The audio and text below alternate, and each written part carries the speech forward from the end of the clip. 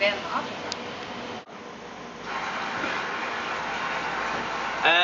greia med Afrika er at vi er inspirert av Sør-Afrika.